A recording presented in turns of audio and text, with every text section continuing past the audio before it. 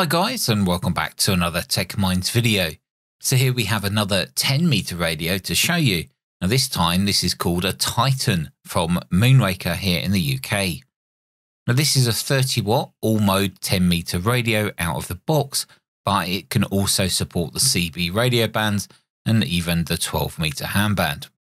Now the Titan is super compact, which you might find quite attractive for vehicle installation is it doesn't really take up too much room. Also, the cost of this radio is currently around 130 UK pounds, so it's proper cheap. Now you do get all the usual accessories you might find with a radio like this.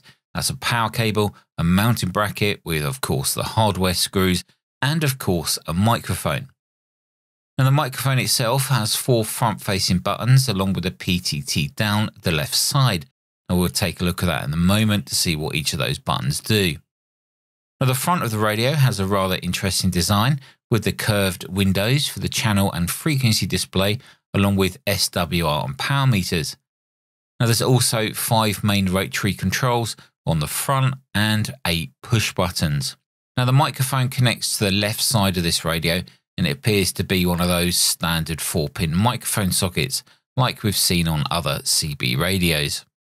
Now on the rear, a fairly chunky heatsink along with an SO239 socket, which is obviously used for the antenna. There's also a power socket to be used with a supplied power cable, and then there's two 3.5mm sockets, one labelled as SP for speaker and the other labelled as CW, which one can only assume that you could use a Morse key for when using CW. Now there also appears to be an RJ11 style socket which can be used with a programming cable and suitable software for reprogramming those memory channels. However, I do not have either of those to test, so I won't be able to show you that in this video. Now, this RJ11 style socket can apparently also be used as a remote microphone socket. Again, I don't have any wiring details on this to test it. Now, the main output speaker is located underneath, so something to consider if you're going to install this in your shack or vehicle. Now, have you ever come across these little foam or rubber circles in your hardware kits for your mobile radios? Well, these are for attaching to the bracket so that you do not end up scratching the sides as you take the radio in and out of it. Now, you probably already knew that, but if you didn't, well, that's what they're for. In fact, I've seen some people actually stick them on the radio instead of the bracket.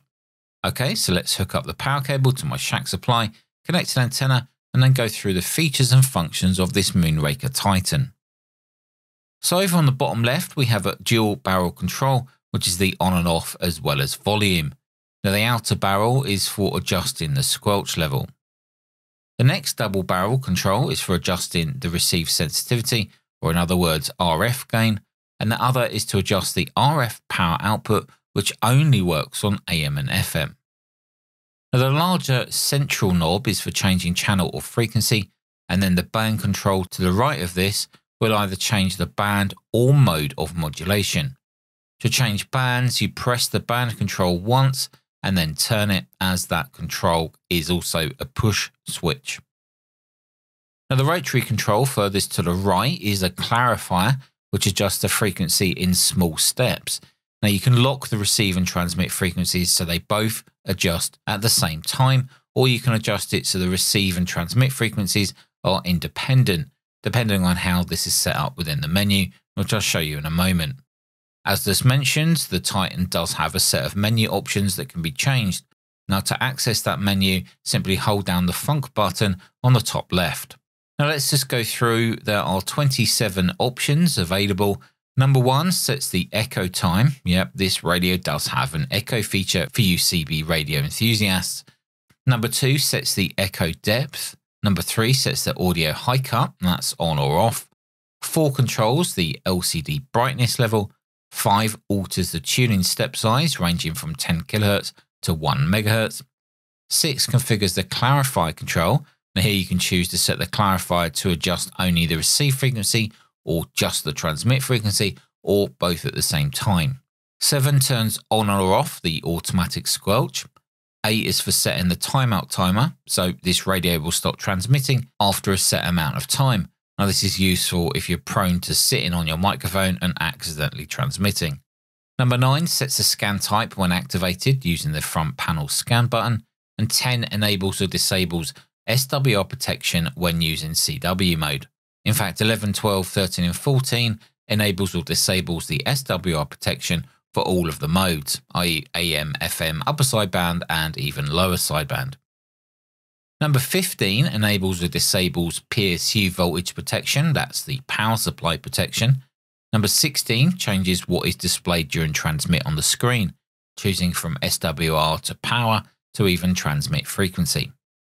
17 sets the Roger beep tone, you can choose anywhere between 300 Hz to 3 kHz. Now 18 sets the Roger beep holding time or duration, and 19 sets the TX single tone frequency. Not entirely sure what that is. Now 20 adjusts talkback, and that's on or off. Now this is where you can hear your own audio playing through the speaker when you're transmitting.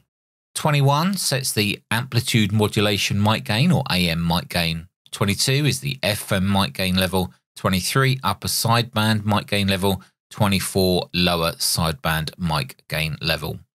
Now 25 sets the beep prompt level now, I always turn these as low as possible because I hate radios beeping as you're pressing buttons. However, I can understand that some people will like that. 26 adjusts the CW filter and 27 sets the SWR protection level. Now, the Titan comes shipped as a dedicated 10 meter radio, and as mentioned earlier, you can access the CB band. Now, if you hold the EMG button in and the PTT on the mic while powering on all at the same time, you'll get presented with an option where you can turn the center dial to change from a dedicated 10 meter radio to full coverage radio from 25 to 30 MHz or just the CB bands. In fact, there's a few different options there that you can play around with. Once you have selected one, you just press the PTT microphone quickly and the radio will restart into that selected band. kaldığı için zor duyuyorum. Bazı arkadaşları da işte web sitelerden duymaya çalışıyorum ama bu kadar oluyor. Yeah, very good. Well, welcome to the 10 meter crowd. You're doing good. Hey, I wish you the best for the holidays, you and your family, and uh, maybe we'll catch you on one of the other bands. Uh, M0TWB K1RX. Now, if we take a moment to check the power output on the 10 meter band with this Titan radio, we can see a clear 40 watts when using FM. And we see around 15 watts when using AM. And if we flick over to upper sideband, we still get a good 40 watts at the peak. Now I am going into a dummy load here, so I also checked the 11 meter band. Now I observed a good 40 watts using FM on 27 MHz as well.